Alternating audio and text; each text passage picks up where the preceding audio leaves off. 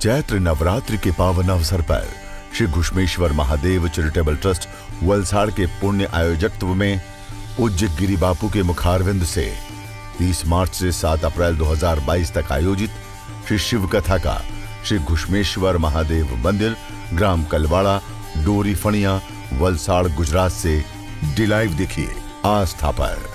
30 मार्च से 7 अप्रैल, रात्रि 10:20 से एक बजकर बीस मिनट तक। आस्था भजन पर। 31 मार्च से 8 अप्रैल दोपहर एक से चार बजे।